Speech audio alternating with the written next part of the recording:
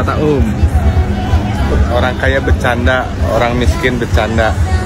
Gua pawangnya Kids Panda, lu siapa? Anjay.